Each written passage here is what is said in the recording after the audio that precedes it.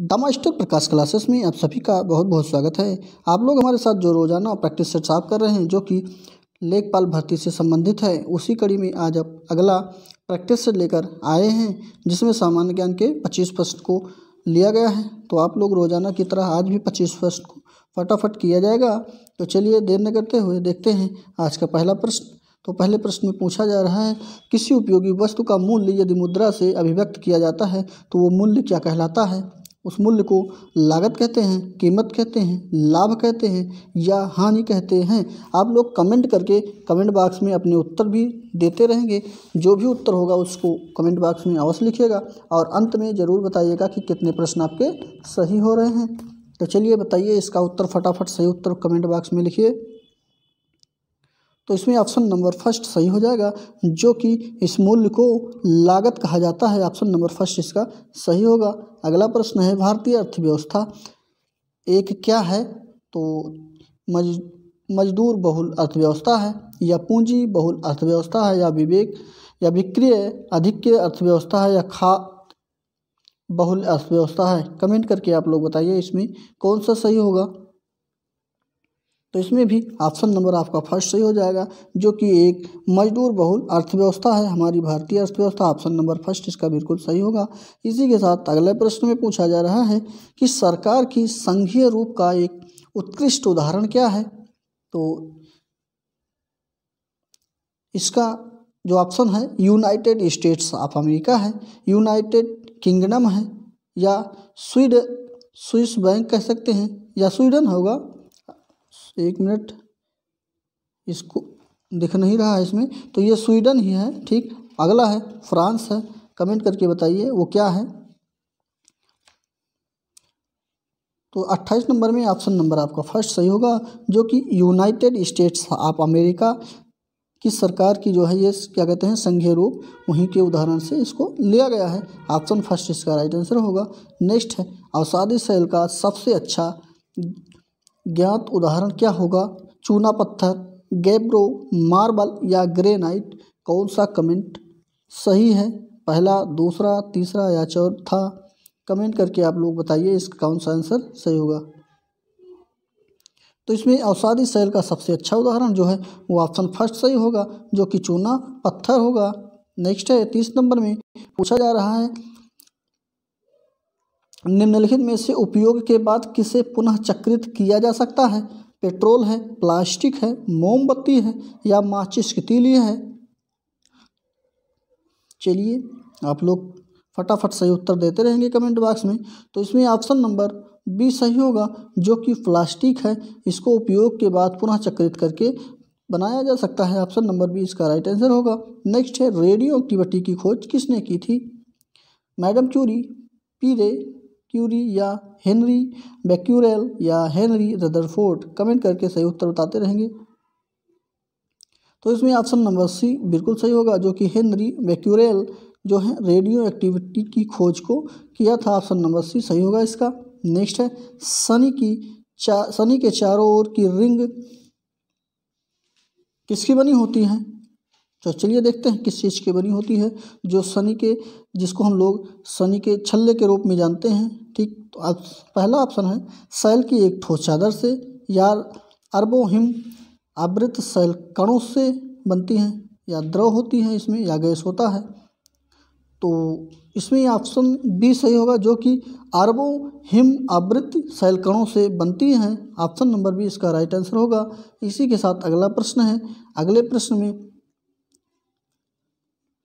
Option कुछ कटा हुआ है, जिसका पहला चलिए देख लेते हैं। इसमें एक बाकी दिख नहीं रहा, उसको स्किप करेंगे हम लोग। तो भारत में तंबाकू की प्रचुर पैदावार उन क्षेत्रों में होती है। तो कौन सा क्षेत्र है? नीचे ऑप्शन के रूप में आपको दिया गया है। तो शैलयुक्त मिट्टी जहाँ होती है, वहाँ पे होते हैं। या शुष्क ढेर बलुई जहाँ पे होती है, वहाँ पे होता है। या गर्म औसतन तापमान जहाँ पे होता है, कह सकते हैं, वहाँ पे होती हैं। या पे ठंडे ठंडे कार प्रदेश जैसे कि जैसे कह सकते हैं, बर्फीले युक्त, शैल युक्त जहाँ पे होते हैं, वहाँ पे होता है। तो तंबाकू जो पैदा होती है, वो गर्म और जैसे कि जहाँ पे गर्मी और शुष्क टाइप के जो मौसम होते हैं, वहाँ पे जो है तंबाकू के क्षेत्र में मतलब उस क्षेत्र में अधिक तंबाकू पैदा का उत्पादन जो है होता है ऑप्शन नंबर सी इसका राइट आंसर होगा। और इस प्रश्न को जो दिख नहीं रहा है, इसको हम लोग स्किप करेंगे। छत्तीस दो प्रश्न सही से स्पष्ट नहीं दिख रहा है, इसलिए इसको स्किप किया जाएगा। अगर देखते हैं तो पैंतीस नंबर भी देख लेते हैं, इसमें पूछा जा रहा है कि मानसून की शुरुआत में वो मानसून की शुरुआत में बुआई, बोई जाने वाली फ़सल क्या कहलाती है? तो रबी की फ़सल कहलाती है। खरीफ की फ़सल कहलाती है या नकदी फ़सल कहलाती है या इनमें से कोई नहीं है? कमेंट करके आप लोग बताइए। तो जब मानसून की शुरुआत होती है तो कौन सी फ़सल की बुआई हम लोग करते हैं? ये बताना है। या किसान लोग जो करते हैं, ऑप्शन नंबर बी, वो खरीफ की फ़सल होती है, जैसे कि धान हो गया। ठीक?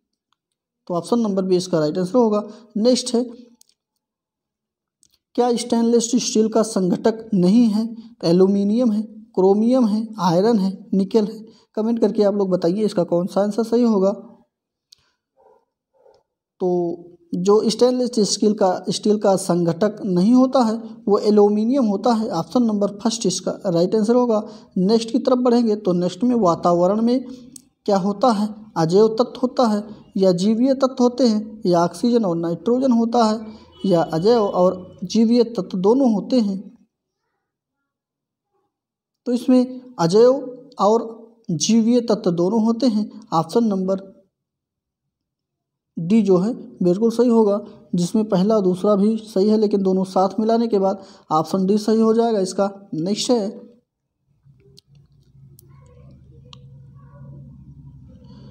ये दोनों प्रश्न भी जो है, स्पष्ट नहीं दिख रहा ऑप्शन। इसको भी स्किप किया जाएगा। अगला प्रश्न देखते हैं। चालीस नंबर पे तो चालीस नंबर में पूछा जा रहा है कि भूकंप की तीव्रता मापने के लिए किस उपकरण का प्रयोग किया जाता है? सीजमोग्राफ, पेरिस्कोप, मैनोमीटर या गैल्वेनोमीटर? तो कमेंट करके आप लोग फटाफट आंसर बताएँगे। तो बताइए इसका कौन सा सही होगा? तो चालीस नंबर में जो सही हो जाएगा, वो आपका सिस्मो सिज्मोग्राफ लिखा है। सिस्मोग्राफ के लिए ठीक तो ऑप्शन नंबर इसका फ़र्स्ट सही हो जाएगा। नेक्स्ट है, चुआंग चांग। चुआंग चांग किसके शासनकाल में भारत आया था? धर्मपाल हर्षवर्धन, समुद्रगुप्त या चंद्रगुप्त द्वितीय। कमेंट करके आप लोग उत्तर को बताइए, कौन सा उत्तर सही है?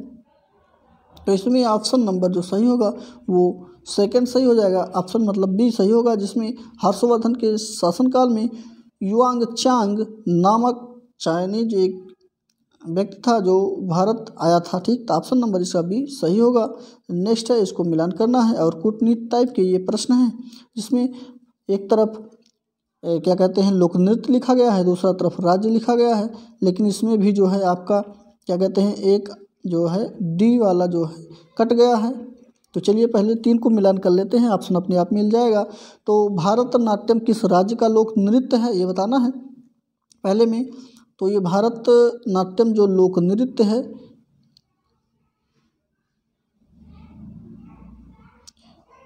ये आपका तमिलनाडु का है। इसको दूसरे से मिलान कर देंगे।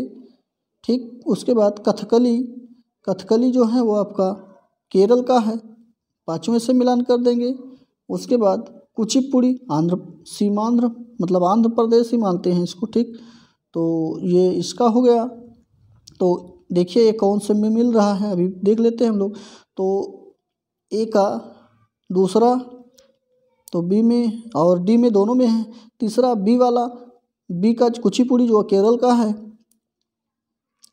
ये बी में पाँचवा और चौथे में मिल रहा तो इसका मतलब पहले बी ऑप्शन जो है सही हो जाएगा, क्योंकि यहाँ पे तीसरा दिया गया है, इसलिए ऑप्शन नंबर बी इसका राइट आंसर हो जाएगा डी गलत हो जाएगा। अगले पे चलेंगे। तो अगले में पूछा जा रहा है कि फोटोग्राफी प्लेटो में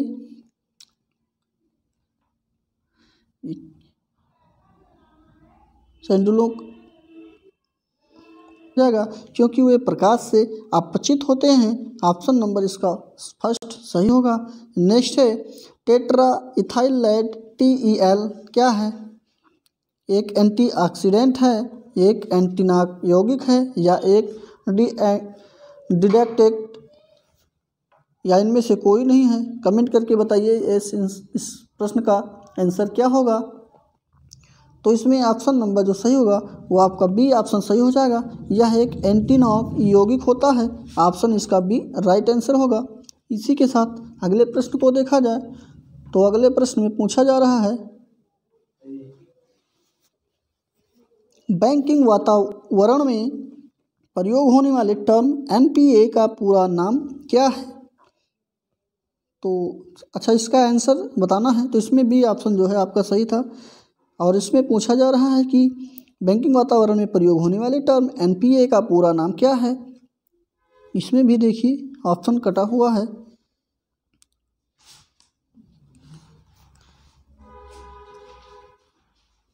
तो इसमें जो है ऑप्शन आपका सी सही होगा?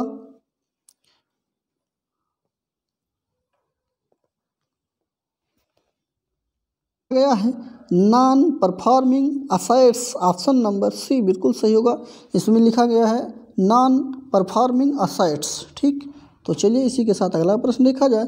अगले प्रश्न में पूछा जा रहा है कि भारतीय संविधान में निम्नलिखित में से किस मौलिक अधिकार की गारंटी नहीं होती है? तो इसमें समानता का अधिकार पहला ऑप्शन पढ़ देते हैं हम, ऑप्शन को, जिसमें लिखा गया है समानता का अधिकार, दूसरा है स्वतंत्रता का अधिकार, तीसरा संपत्ति का अधिकार और चौथा शोषण के विरुद्ध अधिकार। तो इसमें जो मौलिक अधिकार की गारंटी नहीं रखता है, वो आपका ऑप्शन नंबर जो सही है, वो सी सही हो जाएगा, जो कि संपत्ति का अधिकार है। इसको अब जो है हटा करके मौलिक अधिकार से जो है इसको कानूनी अधिकार बना दिया गया है। ऑप्शन नंबर सी इसका राइट आंसर होगा। नेक्स्ट है फोर्टी सेवन में किस वायसराय के शासन के दौरान भारत सरकार ईस्ट इंडिया कंपनी के हाथों से स्थानांतरित करके ब्रिटिश क्राउन को सौंप दी गई है? तो फ़र्स्ट ऑप्शन जिसमें दिया गया है लॉर्ड कैनिंग सेकंड है सरजान लॉरेंस थर्ड है लॉर्ड एंजल और डी ऑप्शन में लिखा गया है लॉर्ड म्यो कमेंट करके आप लोग बताइए कौन सा आंसर इसका सही होगा। के लिए थोड़ा बड़ा कर देते हैं, जिससे आप लोग को स्पष्ट दिखने लगे।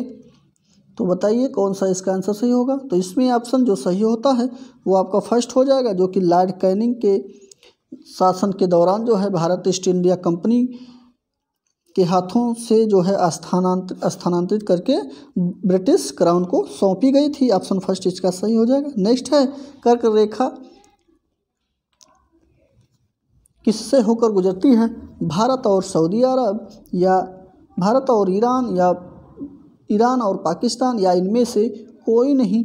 तो कौन से वो दोस्त हैं, देश हैं दो जो ऑप्शन में आपके लिखे गए हैं और वहाँ से कर्क रेखा होकर गुजरती है?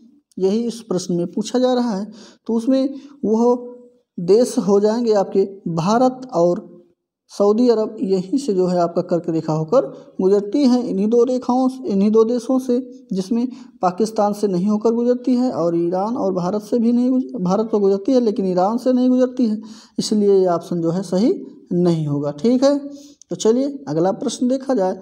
अगले प्रश्न में है, इसमें भी कूटनीति के प्रश्न हैं। एक तरफ़ मंदिरों के नाम लिखे गए हैं और दूसरी तरफ़ प्रदेश लिखे गए हैं और ऑप्शन आपको दिख रहा होगा। तो बताइए, बृहदेश्वरा बृहदेश्वरा मंदिर किस राज्य में स्थित है? First option.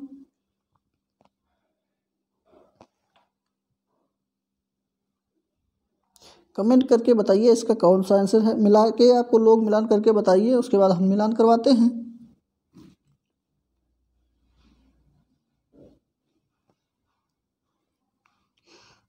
चलिए मिलाते हैं तो फ़र्स्ट ऑप्शन जो हो जाएगा वो ये मंदिर जो है बृहदेश्वरा मंदिर आपका राजस्थान में स्थित है ऑप्शन फोर के साथ इसको चौथे के ऑप्शन के मिलाएँगे।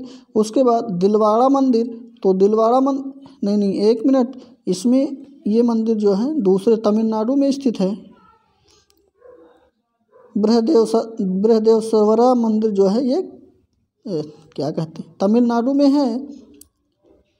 और उसके बाद दिलवाड़ा मंदिर राजस्थान में हो जाएगा आपका। लिंगराज मंदिर उड़ीसा में है, ठीक? उसके बाद हम्पी ग्रुप ऑफ़ मेनूमेंट्स जो कि कर्नाटक में स्थित है, सभी मिलान कर लिए हम लोग। चलिए देखते हैं कौन सा ऑप्शन इसका राइट होगा। तो इसमें ऑप्शन नंबर जो आपका सही होगा, वो डी ऑप्शन सही हो जाएगा। दो, चार, एक, तीन से हम लोग मिलान किए हैं। ऑप्शन नंबर इसका डी सही होगा। ठीक है, चलिए अगला प्रश्न। अगले प्रश्न, पचासों को देखते हैं। तो पचासवें प्रश्न में पूछा जा रहा है मानव के मानव में निम्नलिखित तत्व की प्रचुरता किसकी होती है? आयरन की, ऑक्सीजन की, कार्बन की या नाइट्रोजन की? तो मानुष शरीर के अंदर जो सबसे अधिक प्रचुर मात्रा में पाया जाता है, वो ऑक्सीजन पाया जाता है। ऑप्शन नंबर इसका बी जो है, बिल्कुल राइट आंसर होगा। तो आज हम लोग यहाँ पे पच्चीस प्रश्नों को सॉल्व कर लिए हैं। तो पच्चीस प्रश्न में आपके कितने प्रश्न सही हुए, कमेंट करके आप लोग बताएँगे और अपने दोस्तों को भी वीडियो को शेयर करें, जिससे कि उनको भी लेखपाल से भर्ती, लेखपाल भर्ती परीक्षा से संबंधित जो है, ये टेस्ट जो है उपलब्ध हो सके, जिससे उनको भी जो है परीक्षा में थोड़ा मदद मिल सके। तो चलिए मिलते हैं अगले प्रैक्टिस के साथ, तब तक के लिए बहुत बहुत धन्यवाद।